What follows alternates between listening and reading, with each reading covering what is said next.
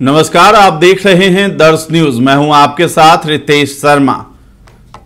कोलकाता के आरजी कर medical college को लेकर के जो हंगामा हो रहा है, वो थमने का नाम नहीं ले रहा है। लगातार जो है, जो महिला डॉक्टर के साथ दुष्कर्म हुआ है, उसको लेकर के विरोध प्रदर्शन लगातार जारी है। इसी बीच जो है, बिहार में पूर्णिया के सांसद हैं पप्पू यादव। उन्होंने इस मामले पर बड़ा बयान दिया है और आरजीकर मेडिकल कॉलेज में जो मिली भगत चल रही थी और जो षडयंत्र रच करके किस तरीके से महिला डॉक्टर की हत्या की गई और दुष्कर्म किया गया, उसके साथ उन सभी की पोल खोलते हुए नज़र आ रहे हैं। लेकिन इसी बीच कल जो है पप्पू यादव ने एक बड़ा बयान दिया था डॉक्टर्स को लेकर के कि डॉक्टर्स जो है वो लगातार हड़ताल पर है, लेकिन वहीं निजी अस्पतालों की बात कर ले तो वहाँ पर लूट मची हुई है और वहाँ पर डॉक्टर्स हड़ताल नहीं दे रहे हैं, बल्कि केवल सरकारी अस्पतालों में ही डॉक्टर हड़ताल पर बैठे हैं, जिसको लेकर के आईएमए ने आपत्ति भी जताई है और लोकसभा अध्यक्ष के पास इसकी शिकायत भी की है, पप्पू यादव की शिकायत की है और उन्होंने कहा है कि कोई भी हमारे ऊपर अगर आरोप लगाता है, हमला करता है तो आईएमए उसके खिलाफ लड़ेगा और जवाब देगा। तो सबसे पहले आईएमए ने मोर्चा खोल दिया पप्पू यादव के खिलाफ और आईएमए ने एक लेटर जारी किया। लेटर में आईएमए ने लिखा कि माननीय सांसद श्री पप्पू यादव जी ने कोलकाता आरजीकर मेडिकल कॉलेज में युवा महिला चिकित्सक के साथ घृणित बलात्कार एवं जघन्य हत्या की घटना के विरोध में देश भर के चिकित्सकों के आंदोलन के ऊपर एक अवांछित दुर्भाग्यपूर्ण एवं अपमानजनक टिप्पणी की है। आईएमए बिहार माननीय सांसद के टिप्पणी की घोर भर्सना करता है। इसके साथ ही लिखा है आईएमए ने कि पूर्व में भी माननीय सांसद चिकित्सकों के प्रति ऐसा करते रहे हैं। उनका कहना है कि उनके परिवार में कई चिकित्सक हैं। हमारा निवेदन है कि अपने घर के चिकित्सकों का भी उनके इस टिप्पणी पर वे विचार को प्रकट करें। वे जब प्रतिनिधि हैं, उनका चिकित्सकों के प्रति विरोध सर्वविदित है। अच्छा होता कि वे ऐसा बयान देने से पहले एक आईना सामने रख लेते तो एक बड़ी बात जो है आईएमए की तरफ़ से की गई है और इसका जवाब भी पप्पू यादव ने दिया है। इस लेटर के जवाब में लिखा है कि आईएमए बौखलाए नहीं, अपनी ज़िम्मेदारी समझे। वो बताए, अगर कोलकाता की क्रूर घटना में उनकी डॉक्टर बिरादरी के लोग शामिल होंगे तो वो क्या कदम उठाएँगे? क्या रेप में शामिल किसी डॉक्टर पर कार्रवाई के लिए कभी आईएमए ने प्रयास किया है? हड़ताल के कारण मारे गए निर्दोष लोगों की हत्या का जिम्मेदार कौन है?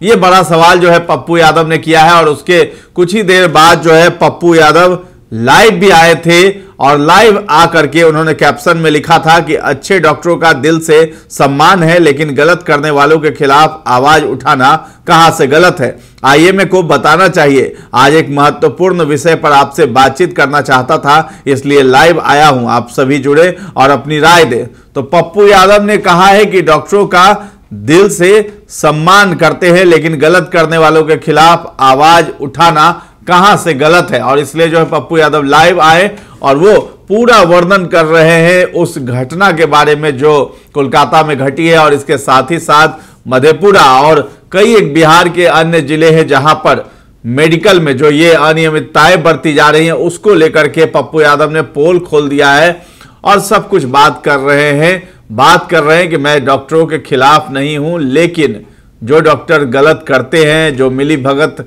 होती है डॉक्टरों की उसी की वजह से ये महिला डॉक्टर जो है भेंट चढ़ गई उसके और उसके साथ दुष्कर्म किया गया फिर हत्या कर दिया गया। तो क्या कुछ मामला बताते हुए नज़र आ रहे हैं पप्पू यादव? आप भी सुनिए इस पूरे वीडियो में। पत्रकार अपना इमाम अभी था ना सवाल था नीचे सबका हम लोग चलेंगे फेसबुक चलेंगे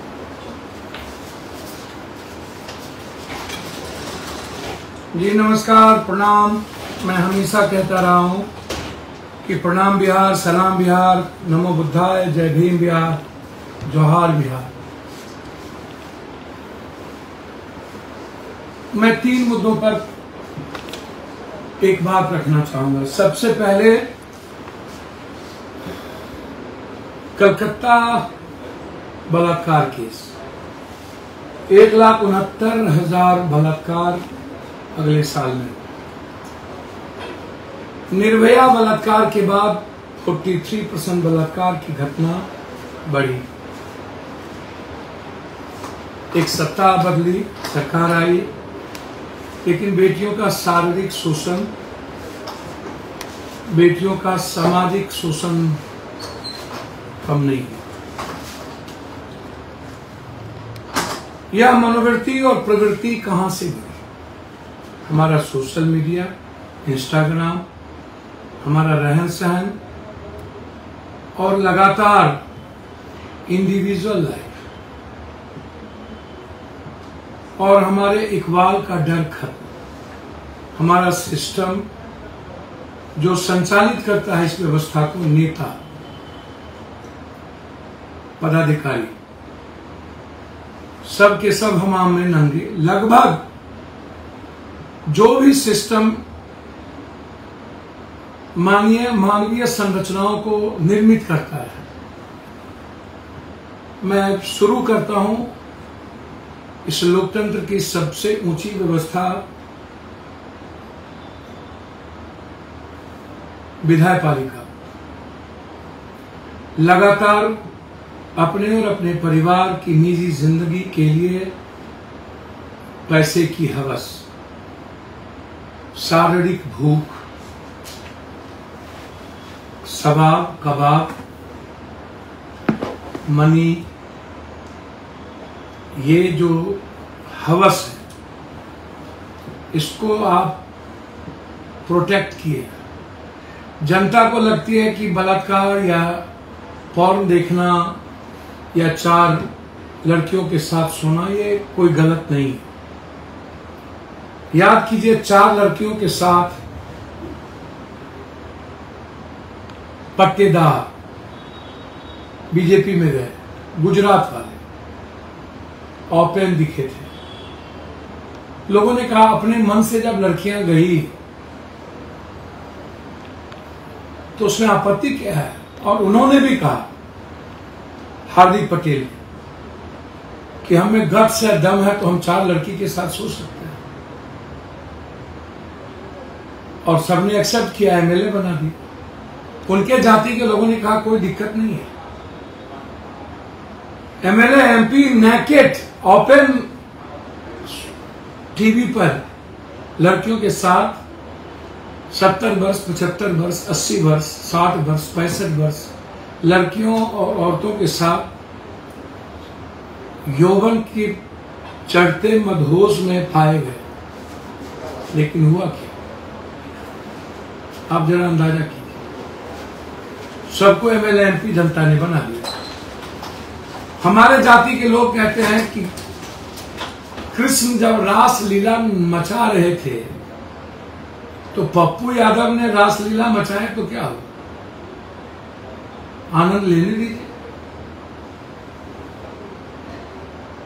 तो ये जो समाज का भी एक्सेप्टेंस गलत चीज़ों को बढ़ावा दे, जाति के आधार पर मूल्यांकन की किस जाति ने बलात्कार किया और किस जाति की हुई। जो जाति का बलात्कार हुआ, वो सड़कों पर दो घंटा आए। और जिस जाति के द्वारा हुआ, वो घर में दुबक गए चुप हो अपने जाति के प्रोटेक्शन में लग गए या फिर तो मौन हो गए अपराध को जाति के आधार पर मूल्यांकन करना और अपराध को जनता और नेताओं के द्वारा, दल के द्वारा स्थापित करना। जनता भी अपने अपराधी को स्थापित करती है वोट देती है। और नेता तो अपराधी माफियाओं को ढूंढ ढूंढ के ला करके टिकट देने की तैयारी में है ही। जिसके पास ज़्यादा पैसा, चालीस करोड़, लो एमपी का टिकट दे दो। आपके यहाँ कोई गया नहीं, कभी लड़ा नहीं, कभी संघर्ष नहीं किया और आपने एमपी बना दिया। आप किस बात को लेकर के कमेंट पास करते हो? कुछ लोग जो सोशल मीडिया पर जब कोई बात हम बोलते हैं तो आपके आँख की पानी खत्म हो गई। या मर गई? आपकी ज़मीन मर गई। हमारा कोई भी बात आप जरा उठा करके देखो सदन में।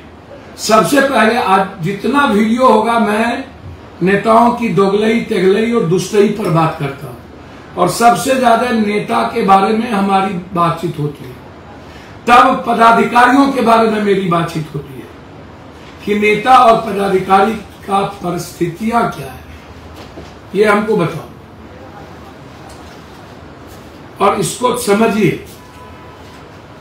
मैं डॉक्टर्स के खिलाफ कब बोलता हूँ? डॉक्टर्स ने आज चिट्ठी लिखी है कि पप्पू यादव की मनोवृत्ति और प्रवृत्ति डॉक्टर्स के खिलाफ पूर्व में भी और हमेशा रहा कौन से अच्छे डॉक्टर के साथ हम सम्मान नहीं करते? कब हम आईएम के खिलाफ किए? कब हम हम सिस्टम के खिलाफ बात करते? सिस्टम में डॉक्टर साहब, मैं आपसे पूछना चाहूँगा पायलट यदि अच्छे नहीं होंगे, पायलट का रेस्पेक्ट नहीं होना चाहिए। आपने कहा है कि डॉक्टर्स की सुरक्षा आम नागरिक की ज़िम्मेदारी क्या एक ड्राइवर की ज़िम्मेदारी किसकी है? यदि गाड़ी का ड्राइवर सही नहीं होगा तो एक्सीडेंट हो जाएँगे। सबसे बड़ी ज़िम्मेदारी तो मजदूर और किसान की है किसान को तो कुछ मिलता ही नहीं है, वो तो सिर्फ़ लागत लगाता है, मेहनत करता है और उसको उसके उपज में कुछ नहीं मिलता। तो यदि किसी की भी सबसे बड़ी ज़िम्मेदारी है इस देश में बचाना, वो किसान है और मजदूर है। तीसरा जवान है, जो मिनिमम अपनी ज़िंदगी को जीने के लिए उसे पैसा मिलता है, उसके बाद वो बर्फ़ में, सब कुछ में अपनी ज़िंदगी देता है। उसकी बात नहीं होगी। सबकी ज़िम्मेदारी है, डॉक्टर की भी ज़िम्मेदारी है ना बचा, बचना। जनाब, कौन रोकता है? नरेंद्र मोदी जी, लालू यादव, नीतीश कुमार को वोट तो आप ही लोग देते हैं। और हम आपसे कभी उम्मीद तो किए नहीं। आप जो आज चिट्ठी लिखे हैं, मेरे खिलाफ जबकि अजय जी से मेरी बातचीत हुई, आईएम से मेरी झा साहब से बातचीत हुई। मैंने कहा कि अच्छे डॉक्टर के लिए तो मैं हमेशा लड़ता हूँ। आप हमको एक बात बताइए। मैंने ट्वीट किया कि सीबीआई जब इंक्वायरी ले ली, सुप्रीम कोर्ट मॉनिटरिंग कर रहे हैं, हाई कोर्ट मॉनिटरिंग कर रहा है, फिर हड़ताल क्यों? एक, जब एक लाख उनहत्तर हज़ार बलात्कार हुए तो आपकी भागीदारी और भूमिका कहाँ? कहीं नहीं? जब डॉक्टर्स के द्वारा नर्सेस और पेशेंट के साथ घटना होती है, बलात्कार की बात आती है, तब चर्चा नहीं। यह घटना बलात्कार से ज़्यादा है, जिसको मैं कहता हूँ कि ड्रग्स माफिया लगातार नकली दवाई को अस्पताल में लाकर, नकली एक्सरे, नकली अल्ट्रासाउंड, नकली सीटी स्कैन को लाकर खराब करने की प्रवृत्ति। और उस अस्पताल के सुप्रिटेंडेंट की मिली भगत, पाँच डॉक्टर, दो ड्रग्स माफिया, सात, एक सुप्रिटेंडेंट आठ। वह बेटी जो डॉक्टर थी, लगातार विरोध कर रही थी कि जो चीज़ हो रहा है, जो नकली दवाई आप बाहर में अस्पताल के नाम पर सब कुछ भेज देते हैं, मैं सिग्नेचर नहीं करूँगा और ना मैं इसको ओपन कर दूँगा।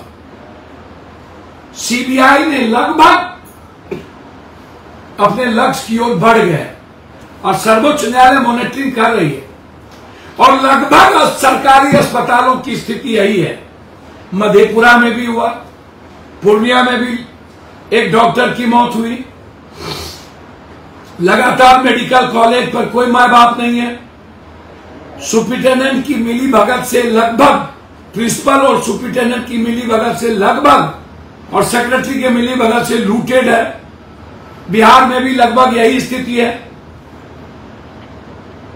तो मैं तो बात ही ना कहता हूँ।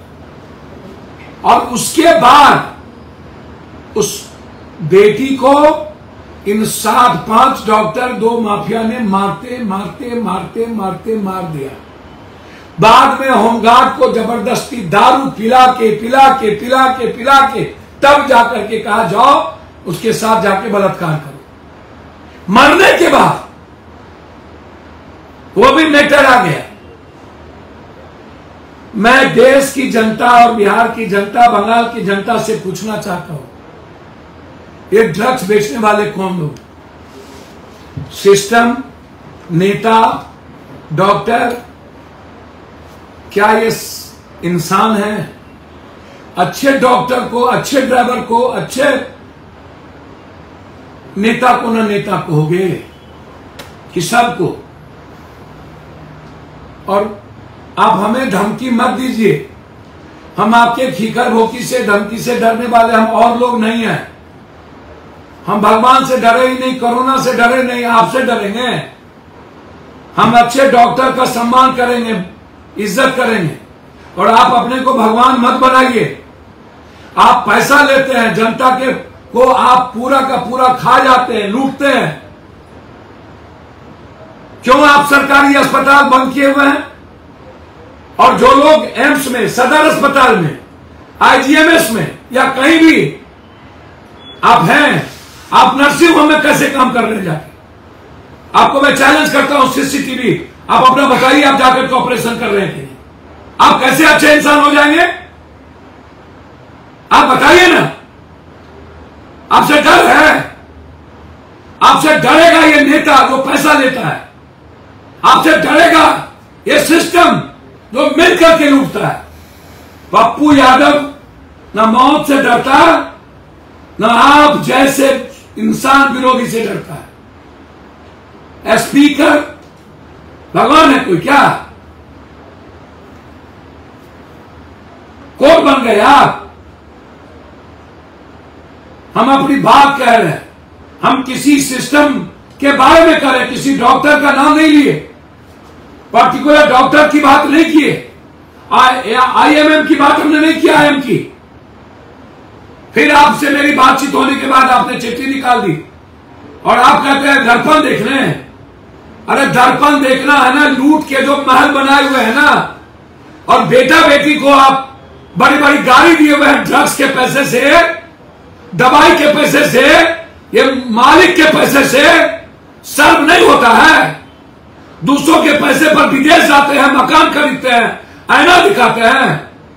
महाभारत का जंग है जंग जब तक बिहार की जनता को बचाएँगे नहीं चैन से नहीं बैठेंगे। लेकिन अच्छे डॉक्टर की इज़्ज़त भी करेंगे और उसके लिए लड़ेंगे भी। हम डॉक्टर के खिलाफ नहीं है, हम सिस्टम के खिलाफ हैं। आप लड़िए, चलिए जहाँ चलना हो। लेकिन हमारी आवाज़ नहीं दबेगी सदर अस्पताल एम्स को बंद करिए। नर्सिंग होम में सारे पेशेंट को बुला के लूटिए। करोड़ों अरबपति बनिए। बिना डॉक्टर के पैथोलॉजी खोलिए। अल्ट्रासाउंड सीटी स्कैन एमआरआई में करोड़ों कमाइए। महीना में तीन बार बुला के फ़ीस लीजिए। कौन सा रूल है? होगी लड़ाई। बंद करेंगे। आप बारह आदमी को मार दिए। किस पर तीन सौ दो का मुकदमा लगेगा? आप तोड़ेंगे ठीक आप बंद करेंगे ठीक। पब्लिक यदि अपनी बात को लेकर रोड पर बैठेगा तो जेल में बंद कर दो। पप्पू यादव कोरोना में जेल में बंद कर दो। यदि हम आवाज़ उठाएँगे तो जेल में बंद कर दो।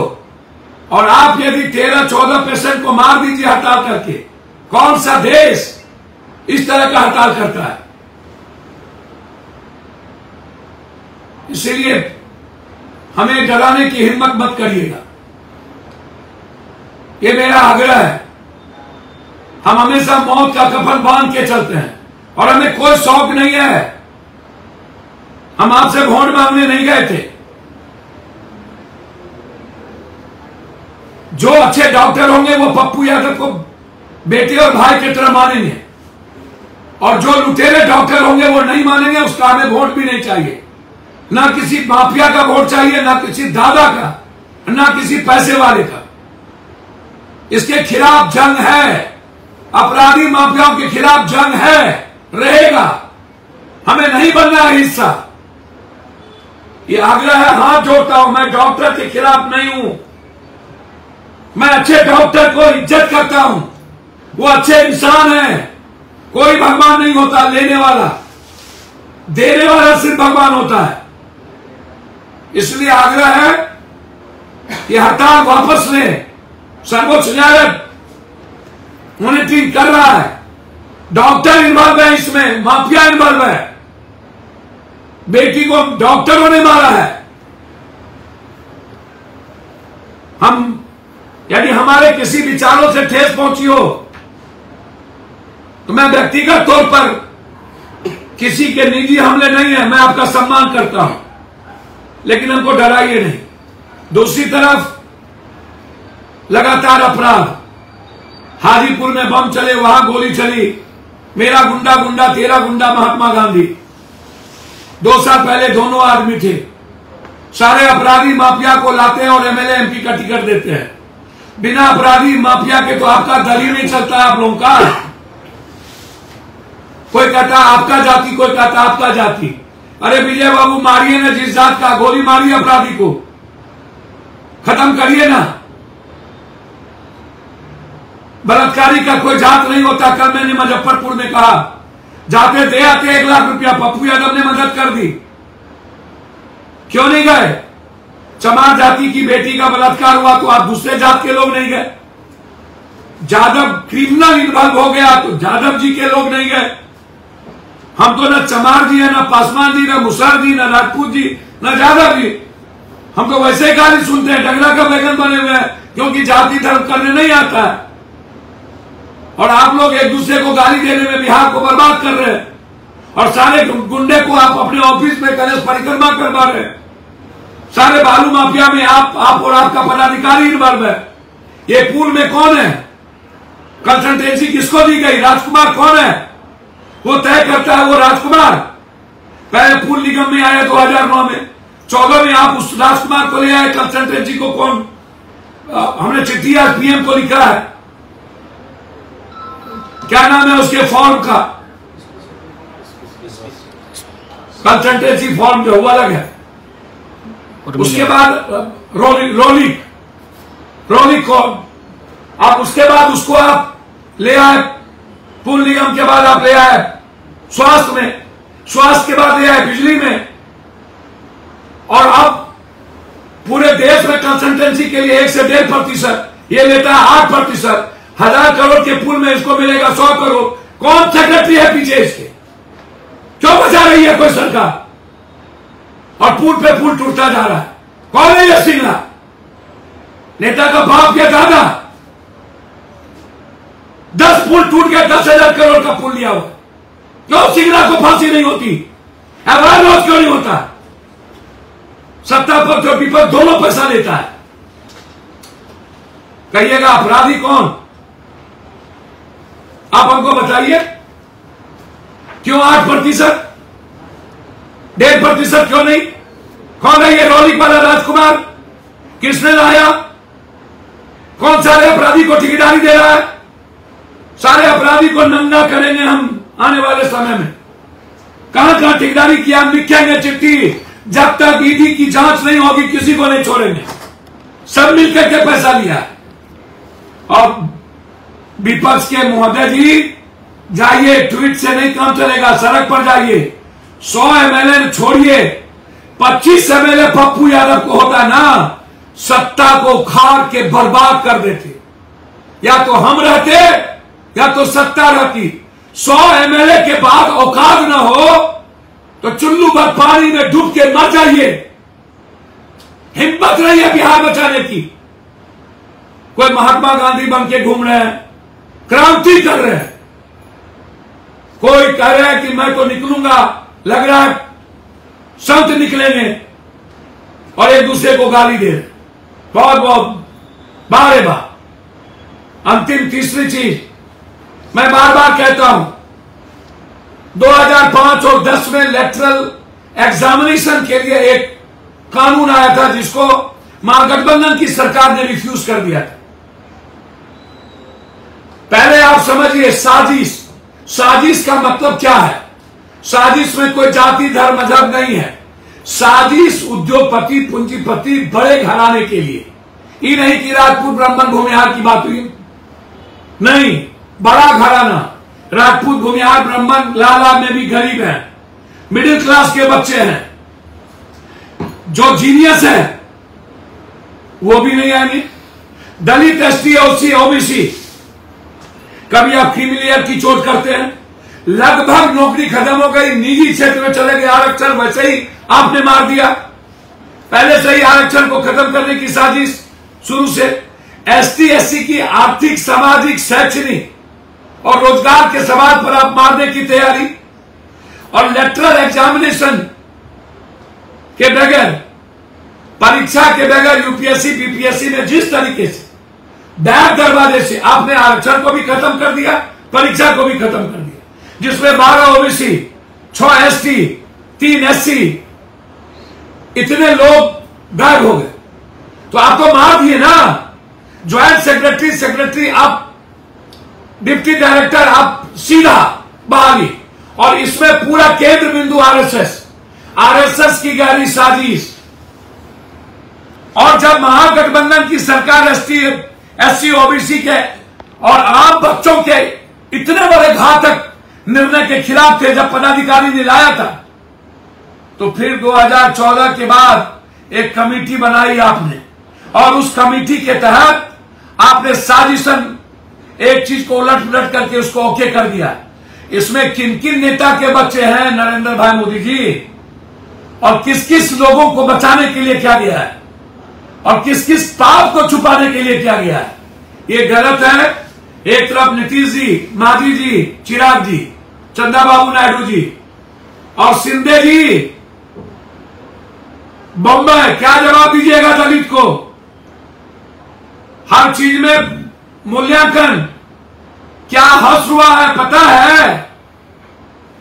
अजय चौटाला जी के बेटे डिप्टी सीएम का इस जन्म में पैर पकड़ के माफ़ी मांगेगा, तब भी जाट गुज्जर वोट नहीं देंगे। बीजेपी के साथ ये हाल रह गया ना आपका तो आप तीन खैया ही घोषित नहीं होइएगा। आप मृत प्राय हो जाइएगा। दुष्यंत नहीं जीत सकता है मेले में भी। उसके माँ बाप को मात्र लोकसभा में बत्तीस हज़ार वोट आया। सोचिए, डरिए।